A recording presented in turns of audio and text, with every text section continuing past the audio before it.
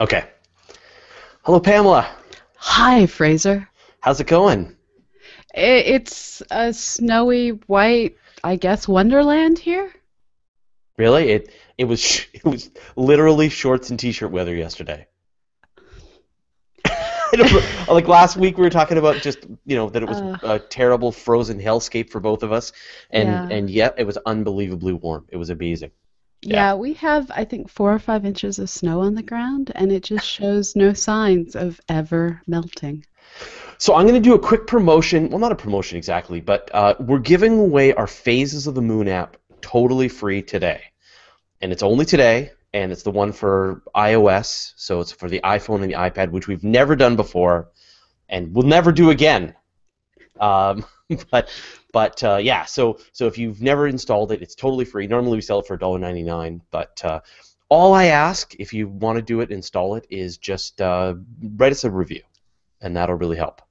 So So Um, we have an app that is not free, but if you spend $1.99 to get the CosmoQuest Earth or Not Earth app over on the Google Play Store, iOS coming eventually, um, that $1.99 after Google takes its share is going to support continued programming at CosmoQuest. It's a great new app for uh, learning the differences between different surfaces throughout our solar system, and it has geology flashcards, and it has games that are surprisingly difficult where you try and identify whether or not you're looking at the planet Earth. You'd think you could answer it? No. No. No, uh, Nancy ran a really great series on Universe Today where she was doing the same thing, where it was like, where in the solar system is this? You have to guess. That sounds like super fun. Um, okay, great. I think that's all we've got to schedule. Um, the other thing, okay, so uh, so today is going to be a live episode of Astronomy Cast. We're going to do episode 326 titled Atmospheric Dust. Um, it's going to take us about half an hour to do the episode, and then when we're finished, we'll stick around and a- answer any questions that you might have about either what we talked about in the episode or just space and astronomy in general. Uh, Pam, I don't know, how's your time, Pamela? Are you good today? So I, I'm doing fine. I'm looking to see what uh, what questions we do or don't have over on Twitter. Uh, Oh, currently good. we don't. I'm just seeing lots of happy retweets. So please feel encouraged to retweet, reshare, the whole nine yards. Uh, we we've had a hard time getting the Q and A app working, but I think we got it going this time around. So you should be able to click uh, wherever you're watching this on YouTube, whether you're watching it on Google Plus or whether you're watching it embedded somewhere. It should say down at the bottom that we're taking questions or join the conversation or something like that. You can click that, and then you'll see all the questions. And then as we answer your questions, we'll highlight them in the in the broadcast. And it's really cool because later on then it acts like an index. You can watch the episode you can see the list of the questions that we answered and click to go to the specific spot in the video where the question got answered if, if i'm doing this right. Uh, so for example uh, some paul Daryl asks when you'll be in hawaii and where will you visit uh, Someday when we have more funding, although I will be out there for the International Astronomical Union meeting summer of 2015.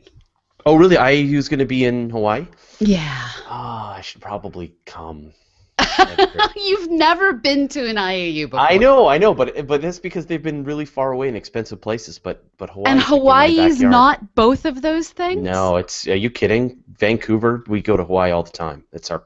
It's it's our version of the Caribbean. Yeah. Yeah, it's sounds great. easier for me to get to Beijing. Wow.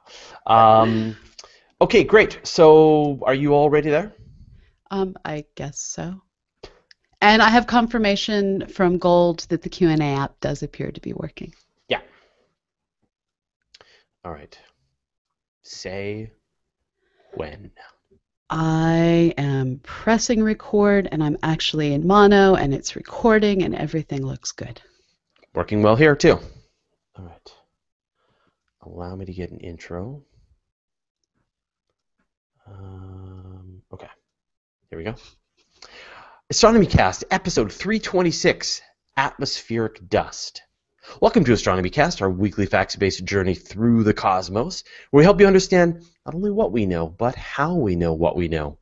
My name is Fraser Cain. I'm the publisher of Universe Today, and with me is Dr. Pamela Gay, a professor at Southern Illinois University, Edwardsville, and the director of CosmoQuest. Hey, Pamela, how you doing? I'm doing well. How are you doing today? Good. Last week we were complaining about cold weather, but now uh, it it's been relatively balmy for. Uh, I hate you with Coast. love. It's great. I Great. totally hate you with love. Yeah, no, we have like four or five. It's going to be a a white Christmas here unless something radical and unpredicted happens. So we get a lot of questions from people about our questions show, which was what we used to do back in the day. We would, you know, we would do our regular episode and then we would do a question show, and people wondered, like, how come you don't do the question show? We do the question show every week live on Google Plus. So if you ever want to join us and ask your questions about space and astronomy, just watch us live on Google Plus. We start at uh, 12 o'clock Pacific, 3 Eastern, and we take about half an hour to do the show, which we're doing right now. But then we also take your questions about space and astronomy and and handle them at the end. So, so people wondering about that, it still happens. And and now it's even more timely. So no more waiting for us to air your question. Just be on air with us. Just be on air with us and join us and see what we look like and uh, yeah, and ask your questions. So. Uh, we still do that. The other questions people have been asking: Whatever happened to the weekly space hangout audio feed? How come it's not in with Astronomy Cast? We got a lot of complaints from people that it was sort of polluting the feed. there was too much, but I know a lot of people still really like it. So it's actually in the 365 days of astronomy feed. So and there's lots of other good stuff in that feed as well. So it's a great reason to subscribe. You'll get both the the uh, the weekly space hangout plus all of the great episodes that that normally go into the 365. So that's where it is. Cheap Astro, Learning Space. Oh, there's so many good things. I've been doing science fiction stories, uh, going ahead and doing narration for that. Yeah, so there's a ton of content in the 365 feed. So so if you're wondering what happened to the weekly space hangout, which is still happening every week, you can get it from there. So much space content. All right. All right, here we go. So when you consider the hazards of spaceflight, it's hard to get worked up about dust bunnies. And yet, atmospheric dust is going to be one of the biggest problems astronauts will face when they reach the surface of other worlds. Where does this dust come from, and what does it tell us about the history of other worlds, and what can we do to mitigate the health risks? In my house, we call them dust dragons. they're, they're substantial collections of dust that have achieved sentience and require Wow. a, a constant battle. Yeah, um, but but so you know you put uh, atmospheric dust on the on the list, and I know uh, you know it's sort of I mean we deal with these dust storms here on Earth, which can clog the skies and they're pretty fantastic, but on other worlds they're going to be big problems. Well, and it's a completely different kind of problem depending on what the type of dust it is, what atmospheric height it's at. There, there's so many different things to consider. And the reason that I kind of rolled out of bed this morning and was like, today we're discussing atmospheric dust, is is because there's actually this upcoming uh, dusty inundation for spacecraft, I guess. We have the LADEE mission that's currently up and happily orbiting the moon, at least as if you feel like anthropomorphizing spacecraft, it's happily orbiting the moon.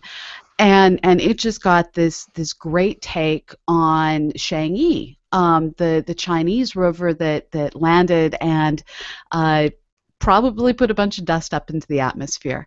Then we have the MAVEN mission on its way to Mars, and it's going to arrive shortly after uh, the Martian atmosphere gets to deal with a comet racing past. And all of these spacecraft are both getting to uh, look at the zero point of what atmospheres normally look like, and then getting to see what happens when they get polluted with all kinds of stuff. Rosetta going to be harpooning a comet next year, later this year. Well, Yeah. 2014. We're almost there. This is crazy. Okay. Anyway, so uh, right, so they're having to deal with this with this dust, and I think it's sort of one of these hazards or that most people don't think about, but the planners really have to consider it. And the the other place that, that this atmospheric dust is really going to nail us over time is so we have to plan missions around it. We have to worry about solar storms. We have to worry about measuring it. But if you've ever gotten sand or dirt in your clothing, you know that sometimes it makes you contemplate getting naked in public because it's really irritating.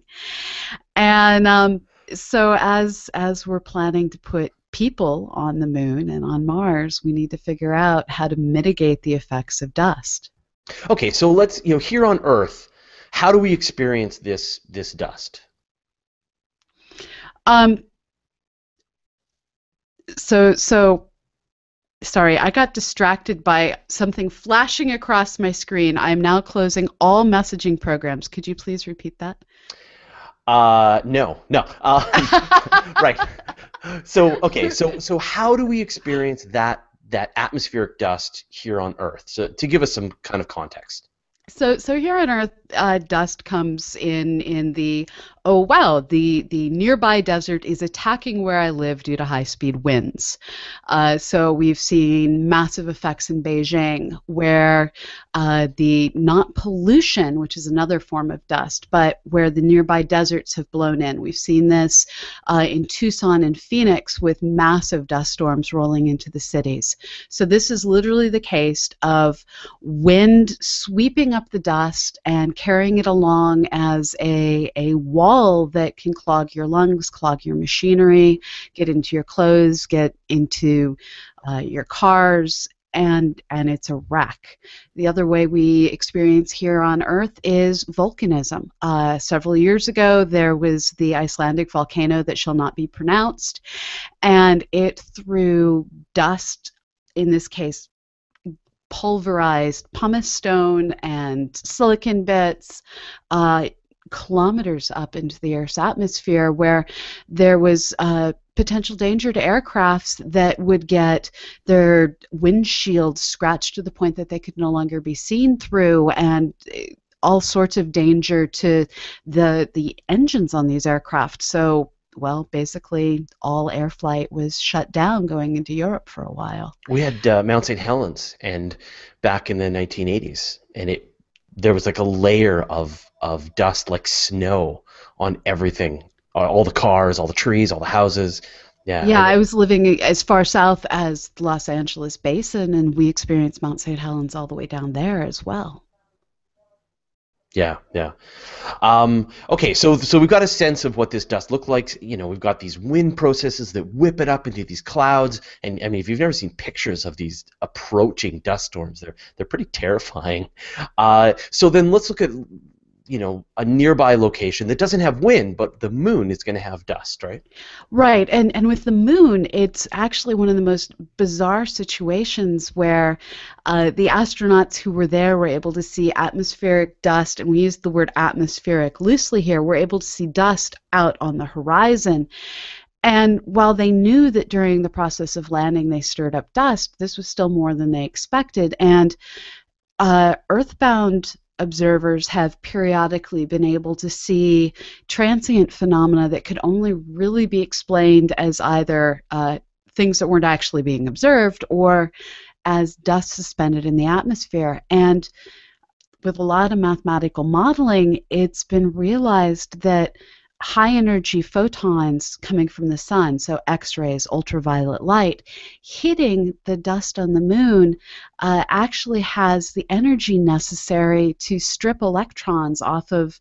uh, some of these molecules. And as you strip enough electrons off the molecules, you're getting more and more and more positively charged dust until the dust actually starts repelling itself, and these individual grains of dust are capable of suddenly floating up above the lunar surface. And so you end up with an electrostatically suspended layer of dust above the moon. Is it is this somewhat related to like when we see these great big volcanic explosions, these eruptions? They always have these these uh, lightning bolts going through them, right? Because the the dust sort of just rubbing together sets up huge static electricity. So, so the physics behind these two things is completely different. In this this case, oh, never mind then. yeah.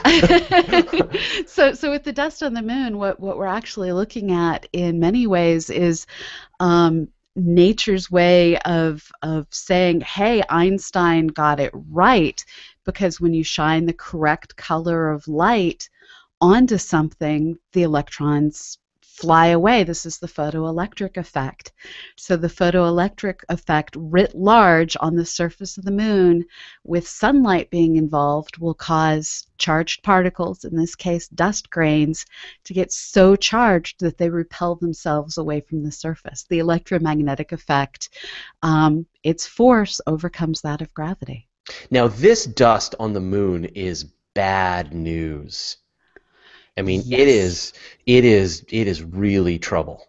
This this is uh, well, it's generally dust made of glass, and one of the most traumatizing yet humorous posters I've ever seen at a science conference was being presented about uh, experiments that are being done where they actually will go to slaughter yards where pigs are being slaughtered and get the freshly removed skin from pigs and use um, artificial lunar dust. So they, they look up the chemical composition of lunar dust and recreate it in the laboratory, take this dust with them to a slaughter yard, take the pig skin of the freshly dead pig, and then using um, carefully measured, precise pressure and uh, pressure over time, so how long they exert the pressure.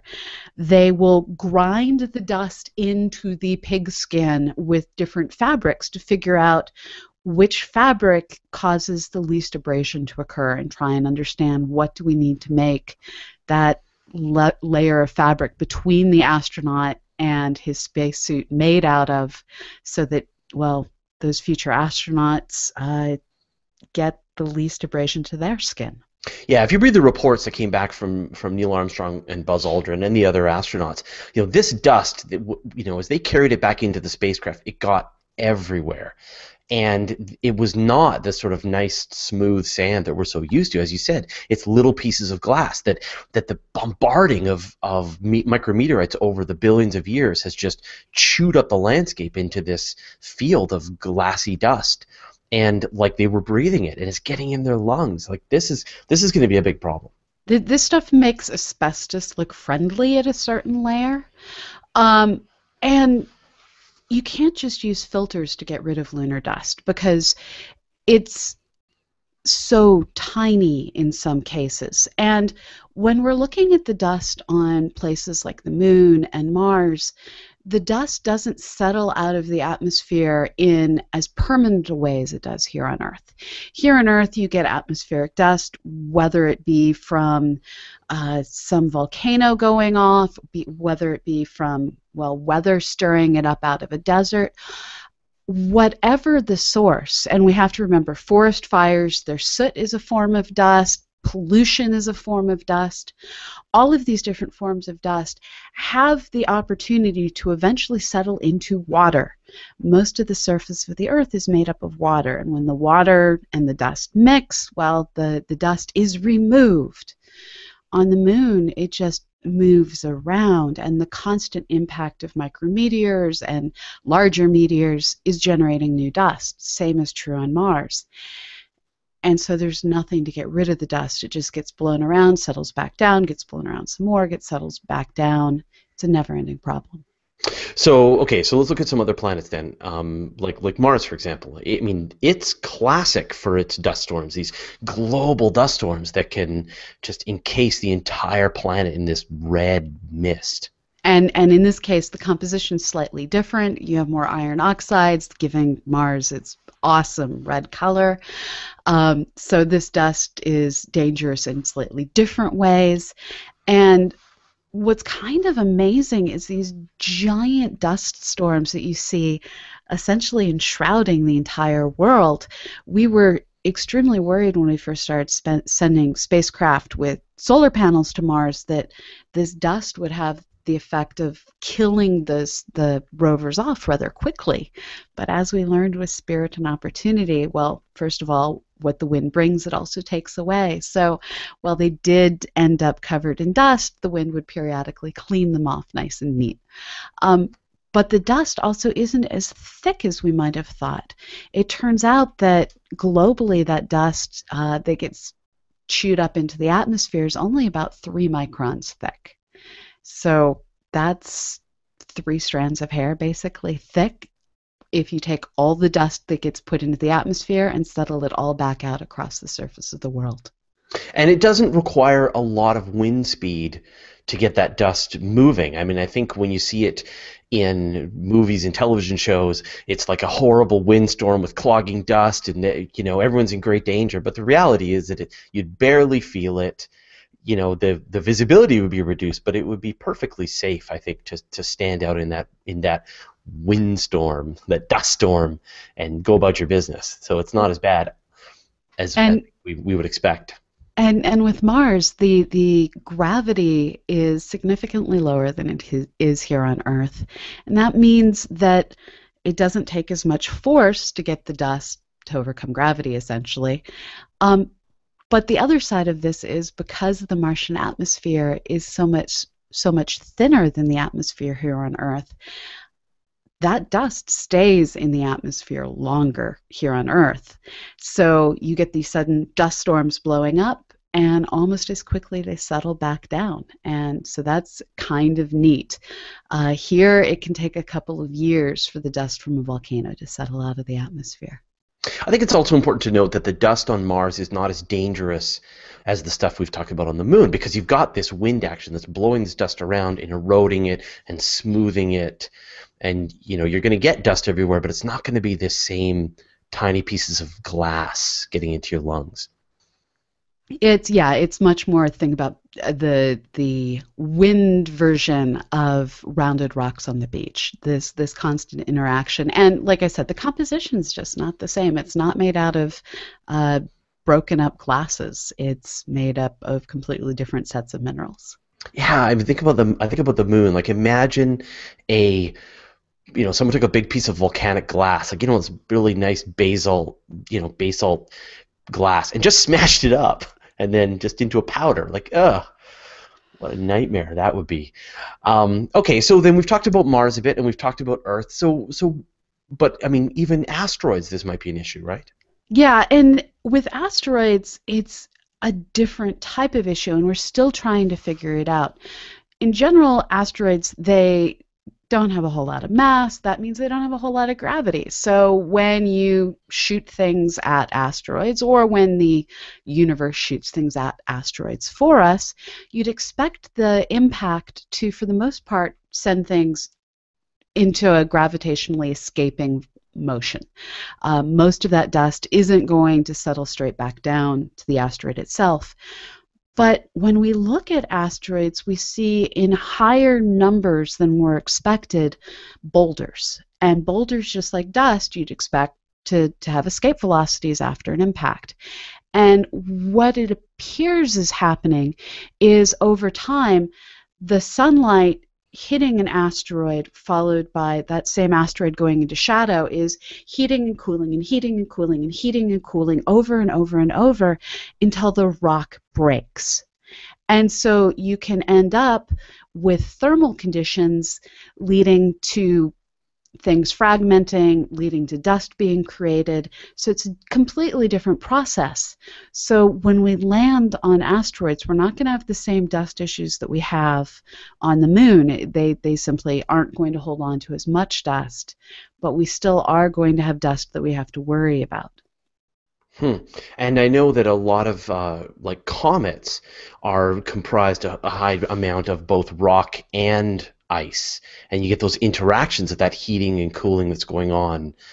That's going to be creating another particular set of, of dust. And, and you also end up with different chemical reactions occurring on the surface of the ices that can lead to larger and larger molecules being found. And essentially, uh, the the simple definition of dust is it's a molecule of something that doesn't melt when exposed to normal amounts of sunlight.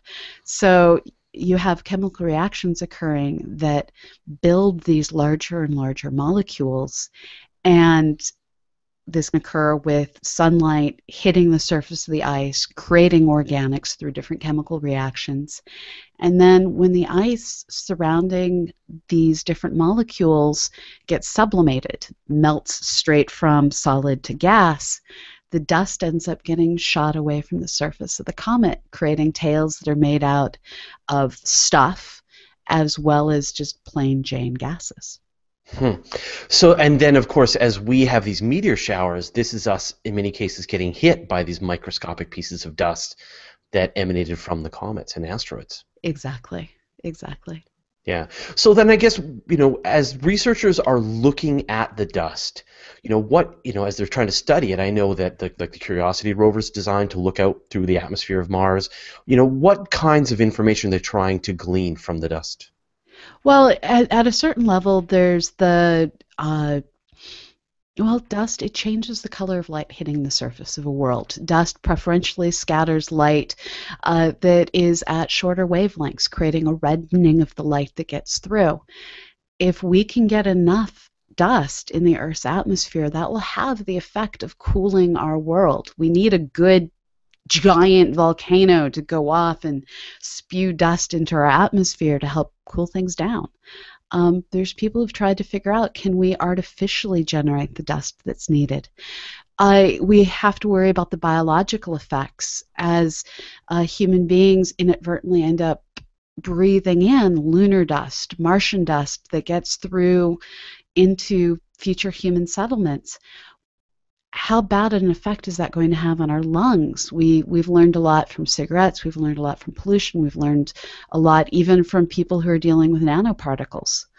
Well, there's the potential for a lot of disease in the future, so we have to figure that out. Um, there's so many different reasons to worry about dust, both the good effects of cooling off worlds and the bad effects of potentially killing humans. And so we're trying to learn all of that as we study the dust. I mean, you brought up this concept of geoengineering that we could release all this dust into the atmosphere and and it, and it could cool down the planet as a way to prevent global warming. And it just sounds like a horrible idea,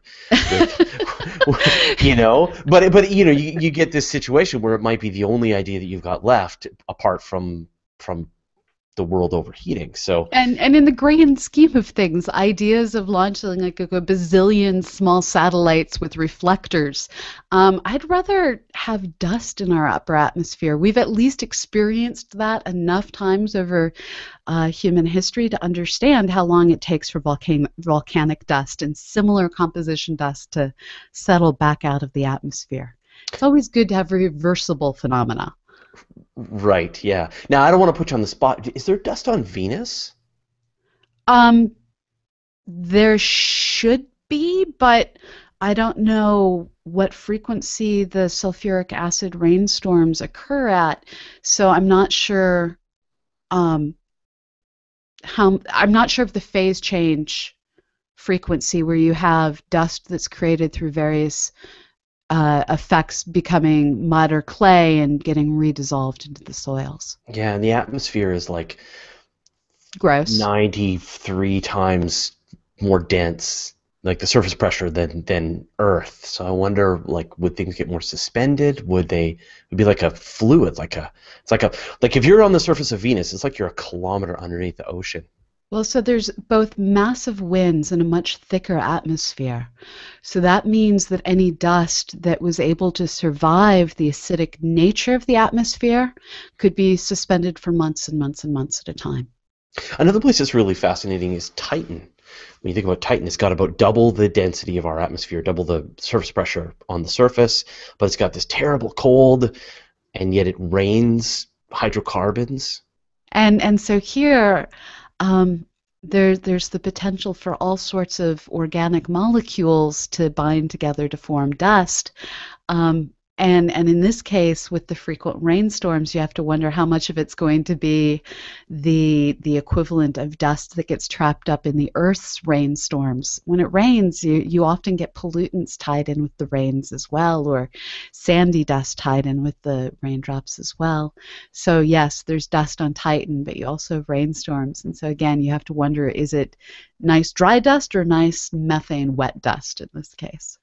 And what about Io. I mean, it's it's amazing how how each of these worlds it just takes a different form. I mean, think about Io with the the volcanic plumes that fly up off above the surface of the moon and rain back down. And and so you're again going to have the volcanic dust. Um, in this case, also just escaping away from Io. So you have that uh, helping to add to the dusty rings that are around Jupiter. And this is part of what you see with um, Enceladus uh, orbiting Saturn, where its ice geysers are helping to contribute to the rings of Saturn. And on Europa. And on Europa. You hear that? Brand new, Yeah, brand new I research, did. right? Yeah. That that they found uh, ice geysers coming out of Europa. But but we still don't. I haven't seen results on if if those are contributing to Jupiter's rings. I know Enceladus is. Right. No, no, absolutely. But we and we don't know we don't know if it's actually welling up from below the surface, like the actual ocean underneath Right. Europa, or whether it's closer to the surface and it's just some kind of grinding effect. But there is there is water ice emanating from Europa and going into the atmosphere, and that is just like another reason to get to Europa and put a spacecraft down. I cannot wait. So, cool. Okay. Well, thank you very much, Pamela. It's my pleasure. Stop and or save. Oh, yes. I'm completely spaced out. For my birthday, I let myself sleep as much as I wanted yesterday. That seems like a really lame birthday gift to give yourself, but seriously, Uh, that I sounds needed awesome. Are you kidding? And I just feel like I still haven't fully woken up. Um, maybe this is just a dream. This is one of those astronomy cast nightmares. No, I don't have those. I just continue to have nightmares that I didn't pass a math class and they're going to take all my degrees away. Really? All right. Can they do that? No, I've, Okay. I have in all reality passed all the math classes I've ever taken. All right. All right, I've saved mine. I'm going to upload, and then there's a bunch of cool questions. We'll get to that. Yeah, I don't see any questions right now on Twitter. Twitter.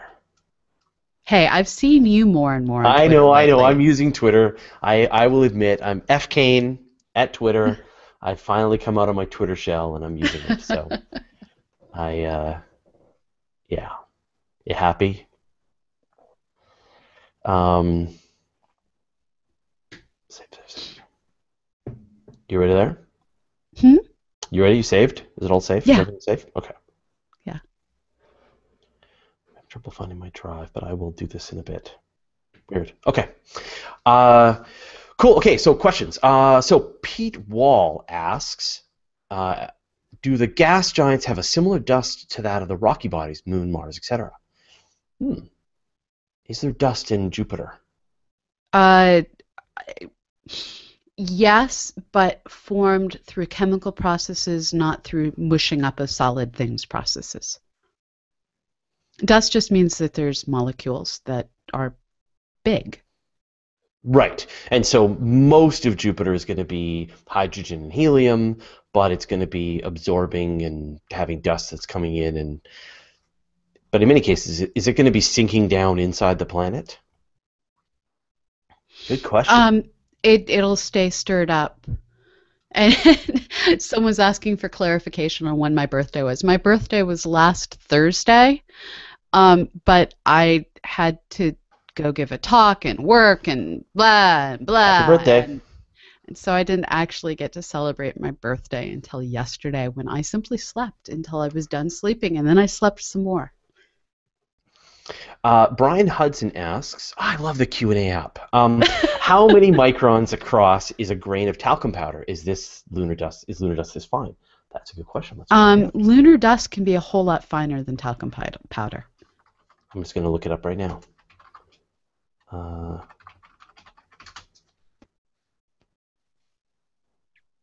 Twelve micron sized particles is talcum powder.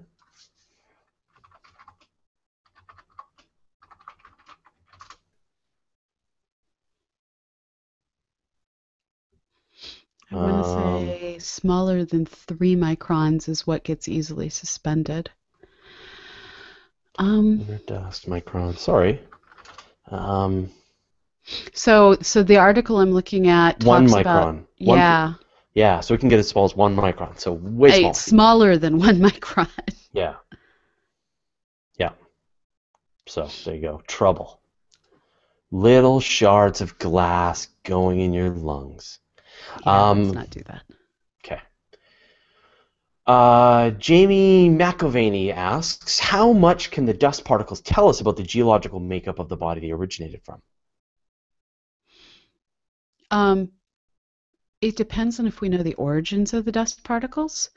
So here on Earth, this is something that geologists regularly do: is they look at the different sedimentary layers, and sedimentary layers uh, are built up by material that has been transported one way or another. So you can get sedimentary layers built up by fluid flow, so fluvial processes, and from um, wind conducting it, so aeolian processes. And when you look at all of these different layers uh, retrospectively, you're able to say this layer here is from a volcano that went off. This layer here is probably from massive forest fires. And so we're able to learn about the history of our own Earth. Now, when we go to other worlds and we start looking at the dust, um, I think we're probably going to have to work on coming up with different techniques that will similarly allow us to understand about the history of the world by looking at the buildup over time of the dust. Currently, when we look at dust, all it can tell us is this exists somewhere on the world, but we don't know if it's getting thrown up from the internal parts of the planet through one set of processes or yeah you, you have to know the origins of something and sometimes that requires lots of brainstorming and looking at things within historical contexts. But i think your you know your comment about this exists i think is is quite valuable. I mean if you have a way to collect dust and you're searching for certain kinds of elements or certain molecules for example, the kinds of molecules that might be created with the presence of water over long periods of time. Yeah, no, that's that's super interesting. So, so dust right? allows us to understand these things exist, which which is awesome. But uh, dust within historic context allows you to understand so much more. So missions like LADEE and MAVEN are going to tell us what dust is present in what compositional um, amounts and frequencies and size frequencies and all of that is cool. Um, I love what we can learn about dust given historic context and sedimentary layers that we can examine. So, um, more missions next time. Let's dig cross sections and take core samples and all that sort of awesome stuff. More missions, more better. Uh, Barry Diamond asks, I don't know about this. Can the dust be used in some way? Is dust-laden air better for wind farms or some other use? And I'm going to sort of tweak it a little further. Like, what about that that static electricity? Could you, I don't know, harvest electricity? No. So somehow? actually, the dust on the moon is is a serious problem that people are trying to figure out how to mitigate. Um, one of the coolest things I've ever seen presented was there's a research lab at I believe the University of Tennessee, but maybe Tennessee State University, um, where they figured out that a certain type of microwave light, if hit on lunar dust, will cause the lunar dust to melt. And so you can essentially drive along with um, lunar dust, with uh, microwave light hitting the lunar dust on the underside of the vehicle and create nice solid glassy surfaces.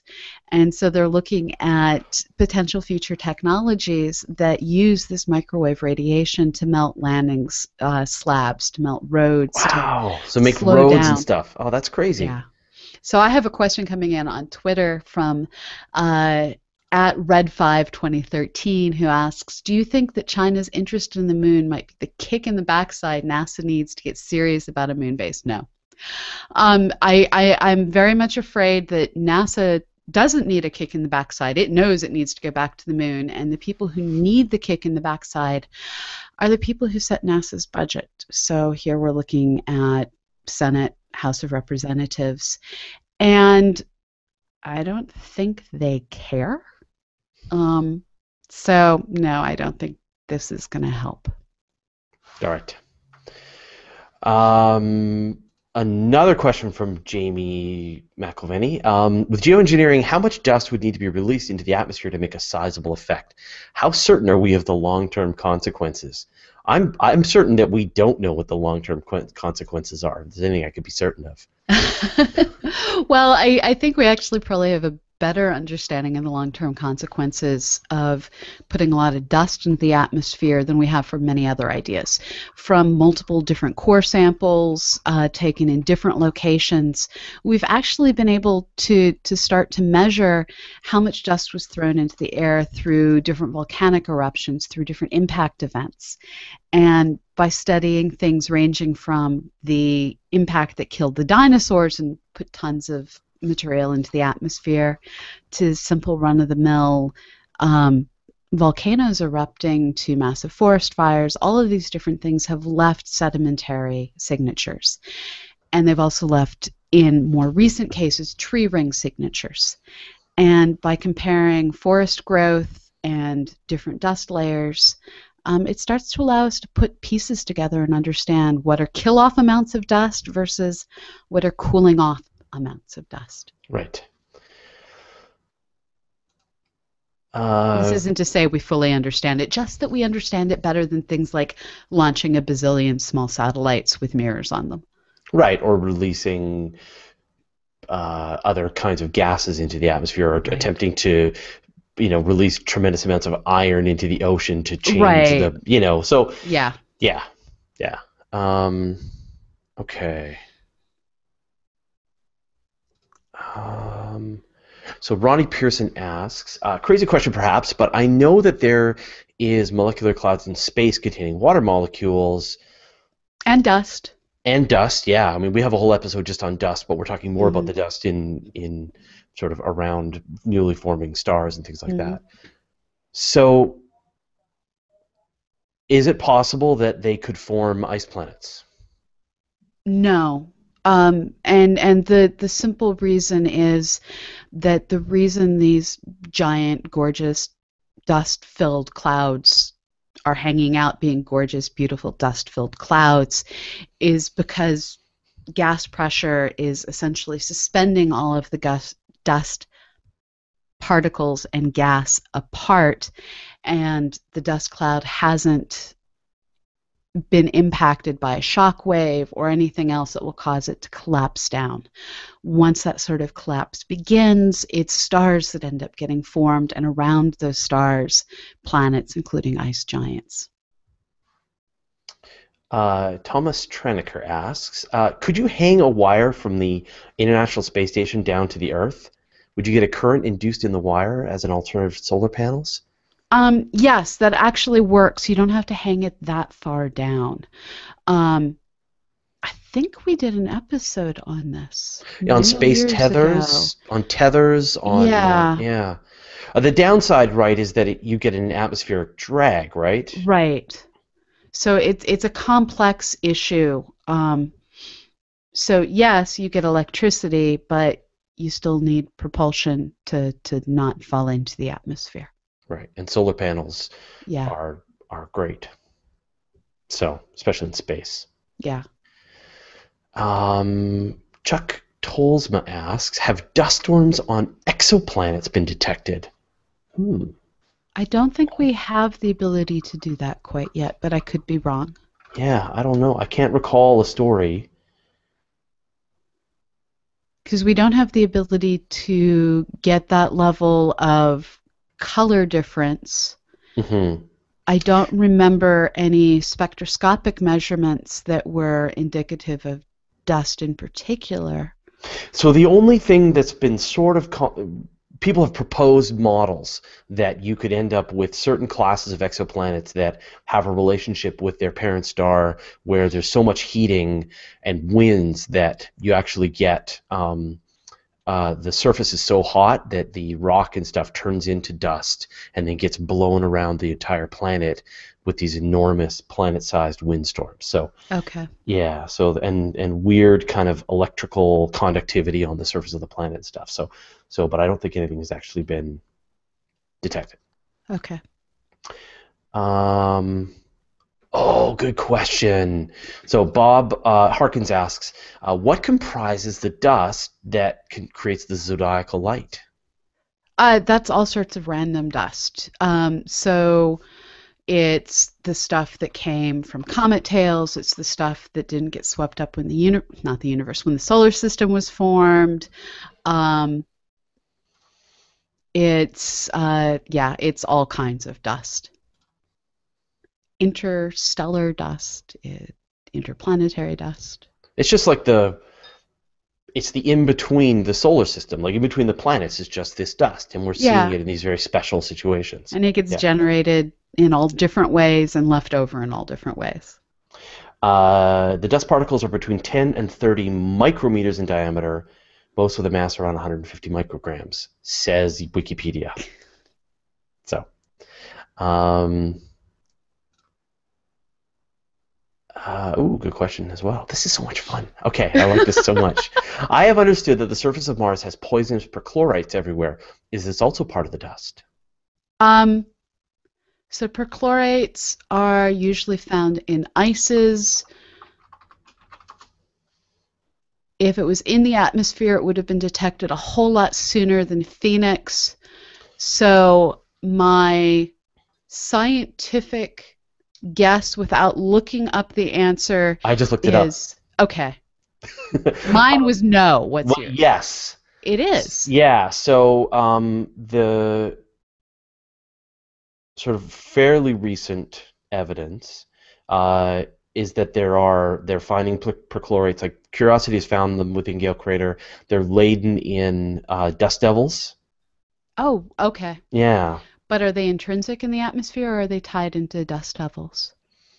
uh, I think they're on the surface. So the dust devils are digging them up off the surface Okay. and then and then pulling them around the. Okay, the so okay.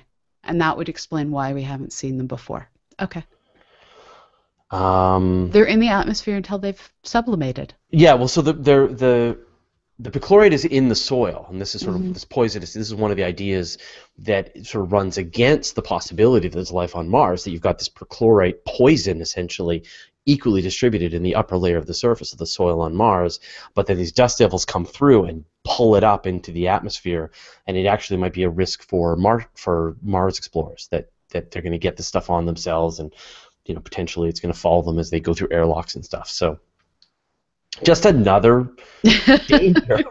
um, okay. Oh. But it wasn't detected until uh, Phoenix, which was one of those things that when they realized it was there, it screwed up some of our understanding of different Viking measurements. And we discussed that in a whole episode in the past. Uh, Pete Wall asks, is it even possible to create filters that could remove the lunar dust? Yeah, no, that stuff is just way too fine. Showers.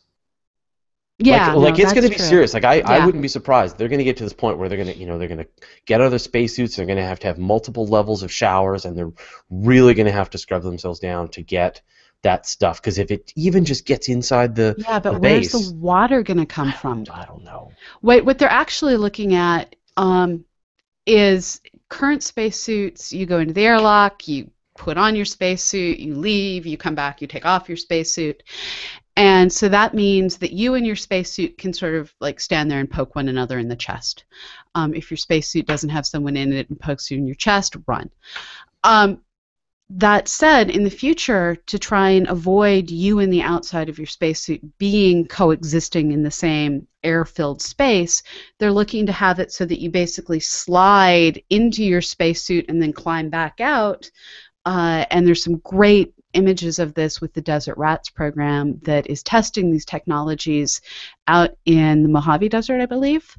Uh, so, future spacesuits, you lock the spacesuit into the the airlock and Right. climb out and as long as that seal is good you don't have to worry the same way you worry today Right. So that spacesuit is never coming inside the habitat. You are. It is always almost outside, and then you climb into it, and then the top and the bottom, and they get somehow clamped together.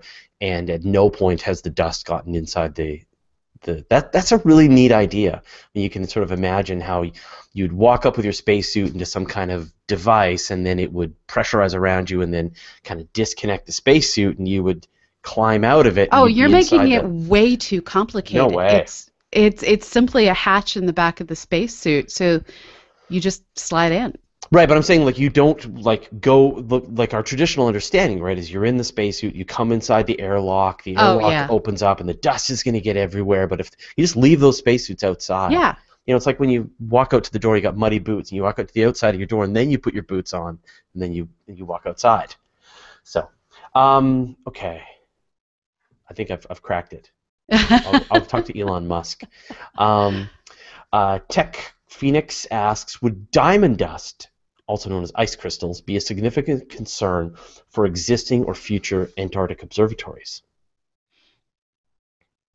Don't know. Don't know. I mean, Uh, Antarctica is the best place to build an observatory, so who cares? Yeah, so the fact Right. that we haven't run into this as being a significant problem yet tells me probably not.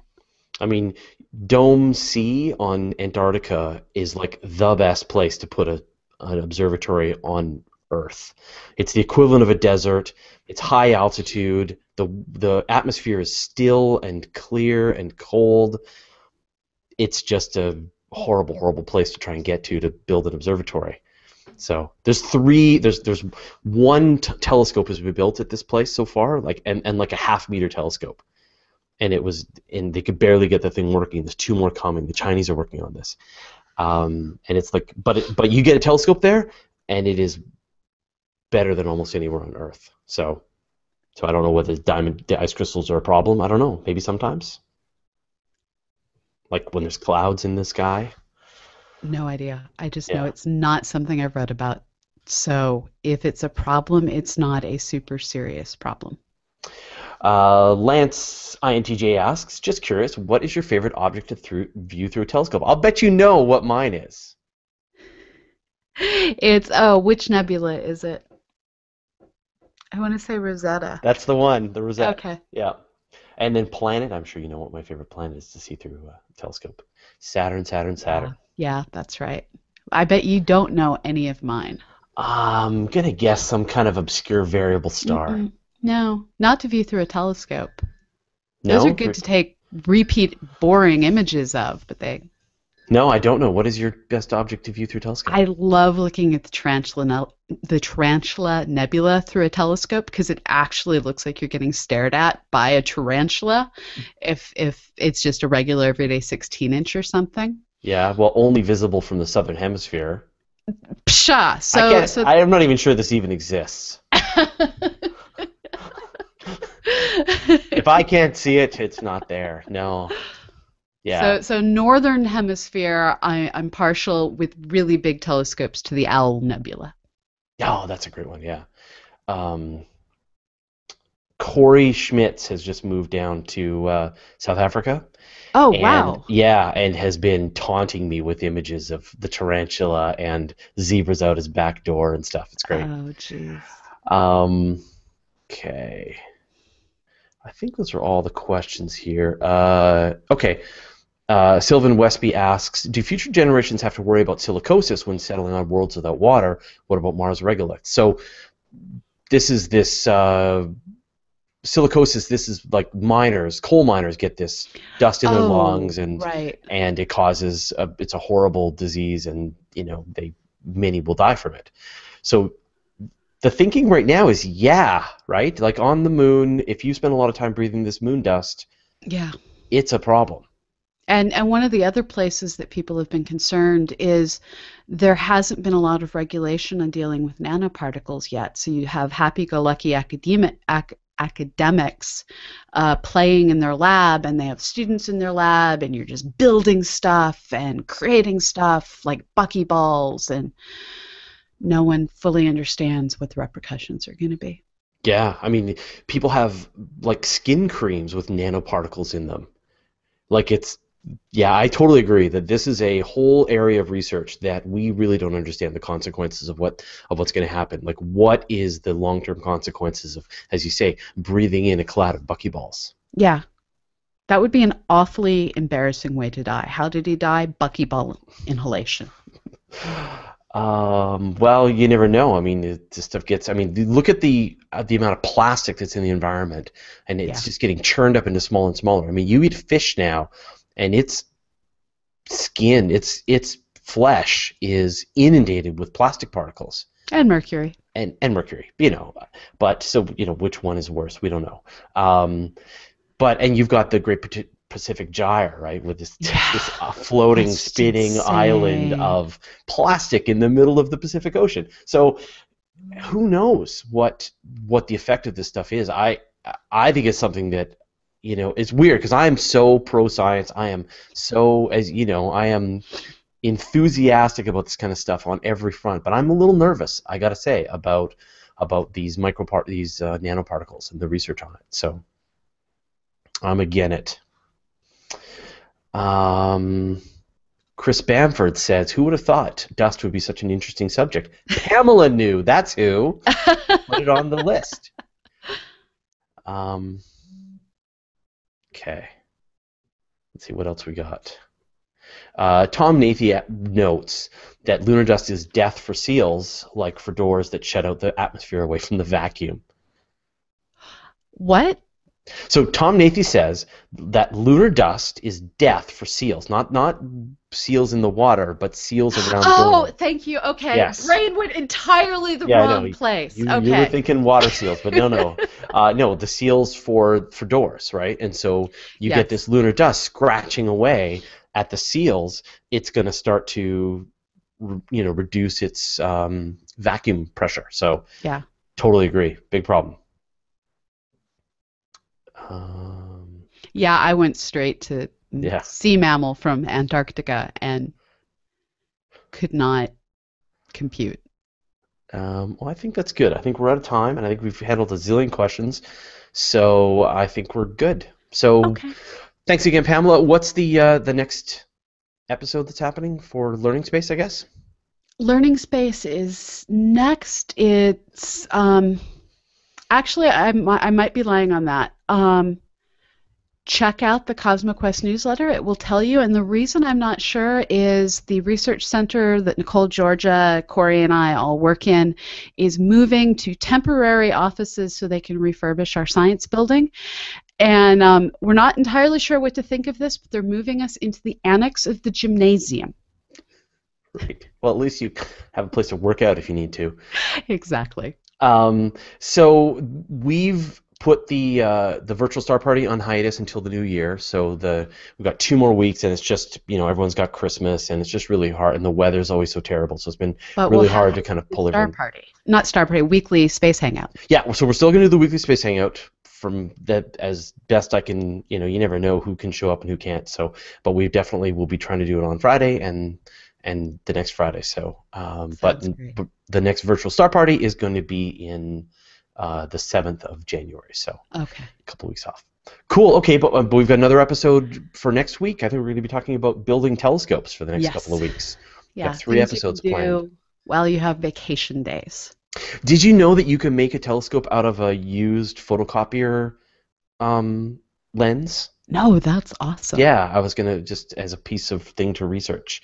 Uh, Dave Dickinson was mentioning this that you can, you know, if you get your hands on an old uh, photocopier, you can you can get the lens out of it and you could turn that into a telescope. Strange reasons to go to your local dump. There you go. um, cool. All Cool. right. All right. Well, thanks again, Pamela. It was great to see you, and we'll see you next week. thanks Sounds everyone for watching.